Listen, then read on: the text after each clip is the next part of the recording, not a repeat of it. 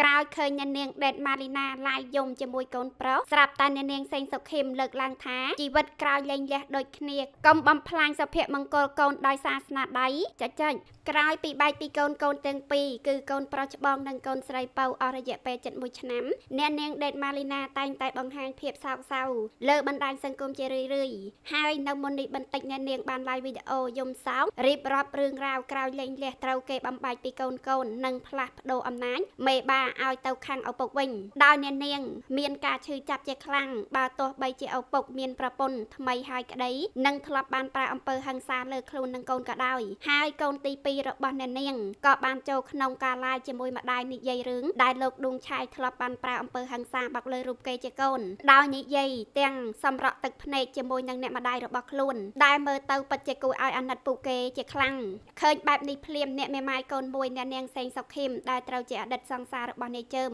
បានភ្ជាប់វីដេអូរបស់ខ្លួនជាមួយនឹងអ្នកនាងដេតម៉ាលីណាដោយភ្ជាប់ជាមួយនឹងសំណេរថាជីវិតក្រោយលែងលះដូចគ្នាទោះនាងខ្ញុំមិនមានដោយគាត់ទោះនាងខ្ញុំលំបាកទោះត្រូវសារព័ត៌មានគេថាចេះចោះក៏ដោយកុំ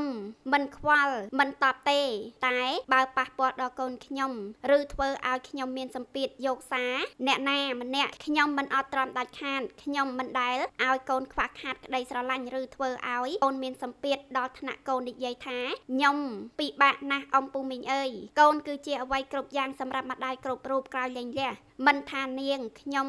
ឬគាត់ធ្លាប់អង្គុយយំអោបកូនគិតពីកូនណាស់មុនសម្រាប់ចិត្តលែងលះម្ដាយសុកចិត្តបោះបង់គ្រប់យ៉ាងទាំងអស់មិនថាមុខមាត់ឬអនាគតឬក្តីសុខផ្ទាល់ខ្លួន តែមួយជីវិតម្ដាយមិនអាចបោះបង់កូនឡើយយើងមានសិទ្ធិរើសប្តីរើសប្រពន្ធបានតែកូនកូនរបស់យើងគ្មានសិទ្ធិរើសឪពុករើសម្ដាយបានទេវាពិតជាអយុត្តិធម៌ណាស់សម្រាប់កូនកូនដែលគ្នាមិនដឹងអីត្រូវរស់ក្រោមសម្ពាធសង្គមគេនិយាយក្រោយខ្នងថាប៉ាវាចេះម៉ាក់វាចោះរឿងវាអញ្ចឹងកូនវាអញ្ចឹងកុំបំភ្លេចពេលបែកបាក់អ្នកដែលក្រាំគ្រាបំផុតគឺកូនព្រោះការធ្វើអ្វីមិនគិតពីចិត្តកូន យើងអាចសាកគិតថាពេលយើងលំបាកបំផុតអ្នកណាដែលយើងត្រូវពឹងពាក់បាន បើសិនឪពុកម្ដាយមិននៅជុំគ្នាហើយនៅមានបញ្ហាបញ្ឈប់តើពេលគ្រូសាក្រោយម្ដាយគ្រូសាក្រោយឪពុកពេញចិត្តជួយយើងអស់ពីចិត្តអន់ចំឡើយយើងម្នាក់ម្នាក់ដឹងច្បាស់ក្នុងចិត្តហើយកុំបំភ្លេចសុភមង្គលកូនដោយសាសនាដៃពួកយើង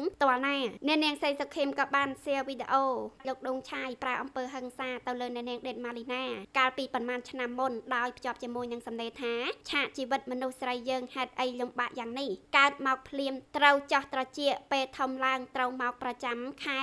រៀបផ្ទះសំបែងរៀបការរួចចាក់ចេញពីផ្ទះចោលឪពុកម្ដាយបង្កើតទៅបំរើគ្រូសាខាងប្តីត្រូវពោពោះបង្កើតកូនកូនមានបញ្ហា គឺកំហុសយើងទទួលទាំងអស់ឡាបញ្ហាមិនមែនចេះដឹងរឿងគេទេចង់បង្ហាញប្រាប់មនុស្សស្រីទាំងអស់ថាគិតឲ្យច្បាស់មុនរៀបការដល់ឡែកសម្រាប់អ្នកនាងដេតម៉ារីណាវិញក៏បានបង្ហោះសំណេរមួយរៀបរាប់បែបនេះថាទោះបីរឹងមាំពូកែប៉ុណ្ណាតែបើជួបបញ្ហានៅផ្ទះកម្លាំងចិត្តរបស់អ្នកនឹងបាត់ទៅ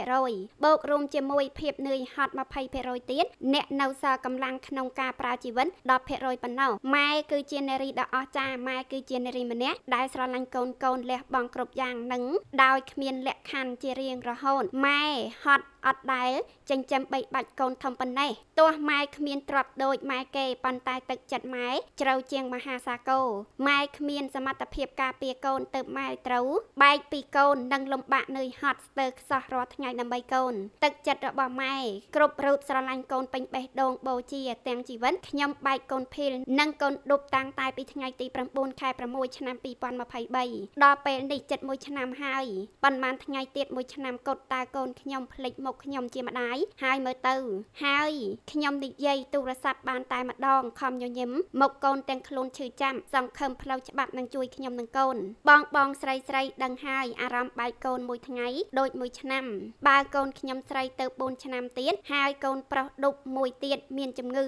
ឈឺមិនប្រក្រតីទៀតតើខ្ញុំជាម្ដាយមានអារម្មណ៍យ៉ាងម៉េចបើស្ត្រីនិងក្មេងមិនទទួលការការពារពិសេសលើប្រព័ន្ធផ្លូវច្បាប់ទេខ្ញុំគិតថារាល់ថ្ងៃស្ត្រីនិងក្មេងជាច្រើនរងទុកដោយខ្ញុំនឹងកូនអញ្ចឹងឬអាចធ្ងន់ធ្ងរជាងនឹងទៀត